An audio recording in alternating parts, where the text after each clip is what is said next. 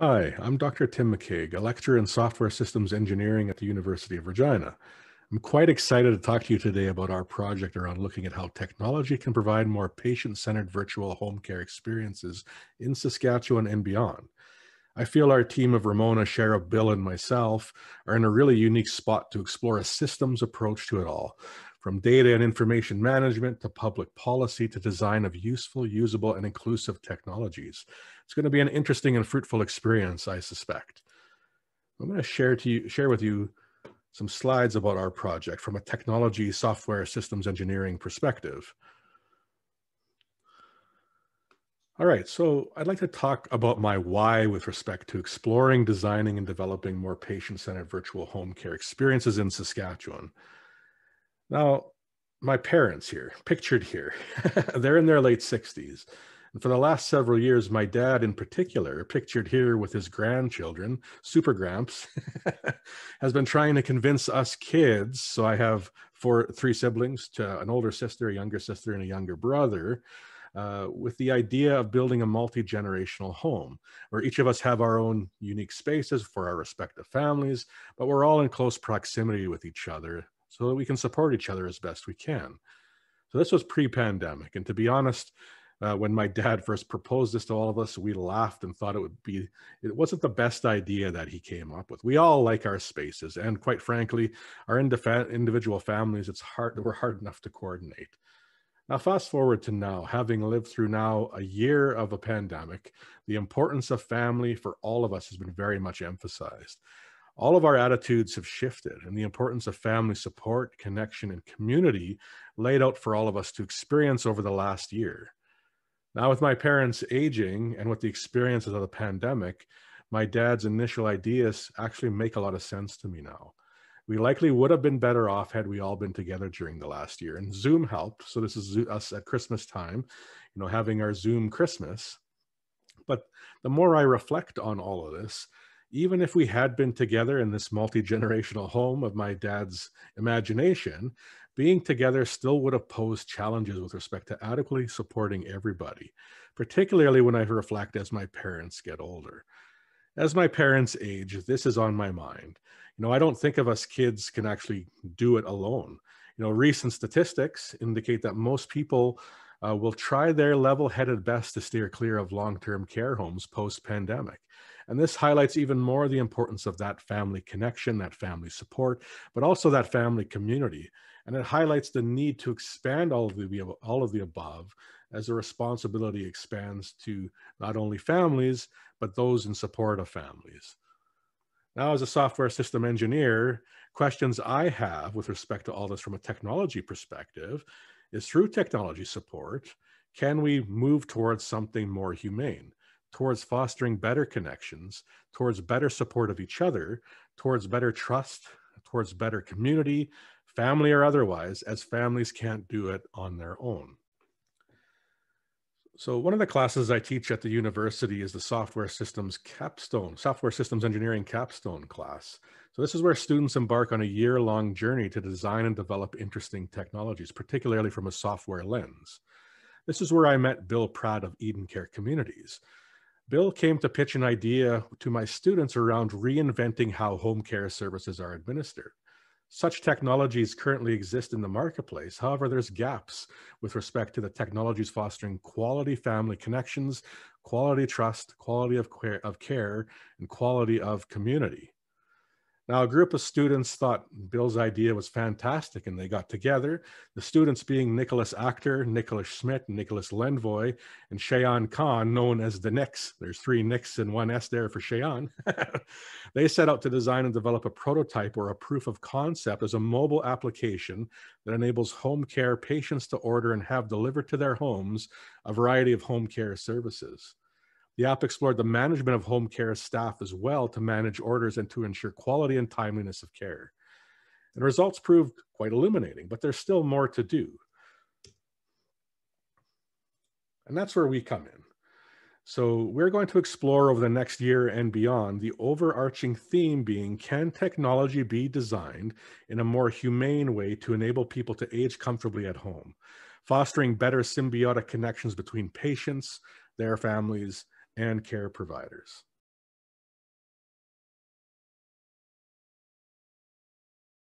Hello, I'm Cheryl Camillo, co-principal investigator on the Care on Demand project, along with Doctors Ramona Kyabaggu and Tim Maciag.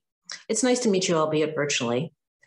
I hope that you're enjoying the spring. I know for me, the sunshine and the increased pace of vaccinations across Canada gives me hope that there is a brighter future ahead for our seniors.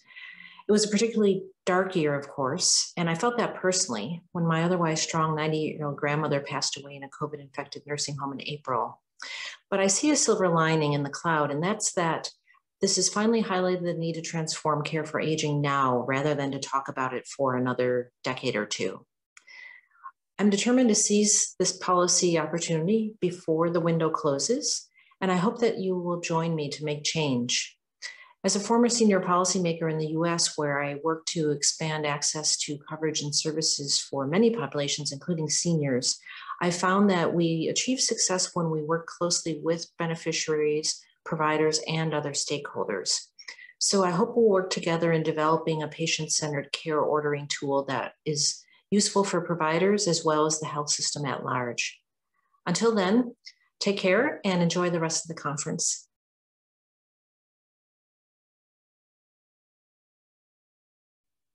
So welcoming attendees of Engage 2021. My name is Ramona Kyabaggu. I am the principal investigator for the Care on Demand project, where I work alongside researchers Dr. Cheryl Camillo and Dr. Tim Maciag, as well as our community partner, Eden Care Communities, where I work specifically with Bill Pratt and Michelle Zolniak. Uh, you should be quite proud uh, to know that Eden Care Communities were the ones who engaged us with this wonderful idea. We're certainly happy to work collaboratively with them to develop what we believe is the future of home care. Um, I first, before I get into my presentation, I just wanted to speak briefly about my personal connection to this community. Uh, my mother is a geriatric nurse, and she has been a geriatric nurse for about uh, 30 years. She's almost near retirement.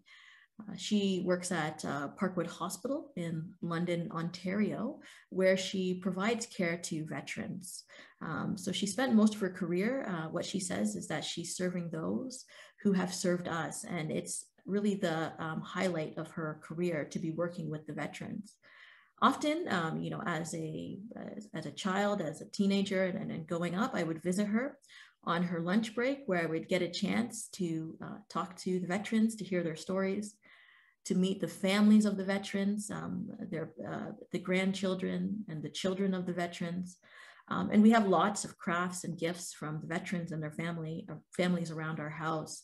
And so this community is a community that, um, you know, really means a lot to me. And I'm excited to be working with the older adults and this population as we develop our solution. So what is care on demand? Um, essentially, care on demand is a home care ordering service solution. Um, it's essentially uh, being developed to help support those who want to age in place. That means to receive home care services um, and, and not uh, prematurely uh, go into a long-term care facilities. Um, our home um, uh, care app application um, has many important features and I believe many features will be developed in future as we continue to engage with providers or service providers um, and clients in terms of the things that they need in order to support them to receive care at home. I just wanted to talk a little bit, um, you know, I'd be remiss if I did not mention um, some of the challenges that we've seen in the long-term care sector as it relates to COVID-19. Um, various factors such as overcrowding, uh, infrastructure constraints, you know, equitable access uh, to services have impacted um, the high rates of uh, mortality and morbidity that we've seen in uh, long-term care um, as a result of COVID-19. Home care is a really important solution because it can help to address this emergent infection of COVID 19 by allowing clients to stay at home. We do know about other benefits like allowing individuals to stay in their communities where they obviously feel very connected and they have a sense of belonging. We want to give them the option to continue to maintain their independence. And this is often um, the preference of most clients. Uh, we believe that our technology solution will be beneficial in a number of ways. As a health information management professional, I often look at the information itself and how this technology solution will improve fragmentation of information. Continuity is a challenge in all parts of the healthcare system, but it is especially a challenge in long-term care. What we're dealing with is a lot of transfers and transitions of people, which requires them to know about existing services to essentially navigate um, their way through the system. By having a technology solution where we can put all of the available services in one place, we're essentially making it easier for people to see what services are available. And it will also make it easier for us to see where there are existing gaps within communities and to try to fill those gaps. Informational continuity also exists as it relates to the exchange of information. There are many stakeholders with different information needs. The clients themselves would like to have information about their care. This we would essentially call a personal health record, where they can see um, the record of care that they've had over time. They may also be interested in other things. Uh, clients may be interested in financing, being able to better manage their financing. So having the cost of services tied to the services that have been delivered. And we could provide that with this app. Uh, also, families want to know that their um, loved ones, um, the care, they want to know about the care that they're receiving. And so our app could help to make it a little bit more transparent um, to ensure that um, when families cannot uh, be uh, with um, their loved ones because of restrictions like COVID-19, the app could help to ensure that they're receiving the quality and consistent care um, that, that they deserve. Another important stakeholder that could benefit from improvements in terms of the exchange of information through this app are home care providers. Some home care providers have multiple jobs and say, so they could better manage um, uh, the distribution of their work by having an app like this where they could schedule many of their appointments. It's also quite helpful for administrators to um, essentially uh, manage the providers um, through this app um, where they could check in or check out and they could see essentially where the provider is along the way so that if a provider is running late, they could give you a call to let you know that the, that the, that the uh, provider may be five minutes late or so, but I, I doubt that would be the case with Eden Care communities.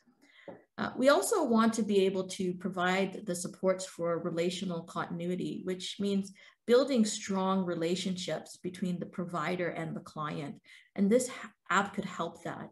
Uh, what we know from both clients and providers is that they want to care for the same patient and the patient wants the same provider that they are comfortable with, that they've built a relationship with, that understands their history and their preferences and needs. Administrators have to do a lot of reporting. They have to uh, report to senior um, decision makers and they have to report to health systems. And by collecting this uh, point of care um, information and uh, aggregating it, um, uh, we can essentially share that information with important institutions and bodies like the Canadian Institute of Health Information to make better policies. Ultimately, we want to improve not only the, the care that you receive, but the care within the entire system. So there are a lot of potential other features that may be included within this application, but it's important for us to be able to engage with you to learn more about what you need. So we're excited to um, approach you and to get your feedback um, to learn about what would make our application more usable, what would improve its utility, um, how we could integrate it into your busy lives, if there are any training or capacity issues that we could support you with, um, and a plethora of other questions that we would love to um, have answers to from you, and then um, translate that into the technology that we provide. I think it's really important to note that as much as we are developing a technology solution, we actually are much more focused on the overall service and the relationships. Our technology solution aims to be patient-centered, inclusive, and humane. Uh, we're not going to be replacing people with technology, but rather we're going to be enhancing um, existing um, um, service delivery models by having technology so we can be more efficient, more accountable, we can improve uh, access and availability of services. And so in the end, we can improve the quality um, and outcomes of care for you. So I'm really excited to have a much more fulsome discussion with you during my live session. And if you have any questions um, outside of this, please feel free to email me. So I want to wish you um, a wonderful uh, continuance of this conference and uh, let's start talking. Take care now.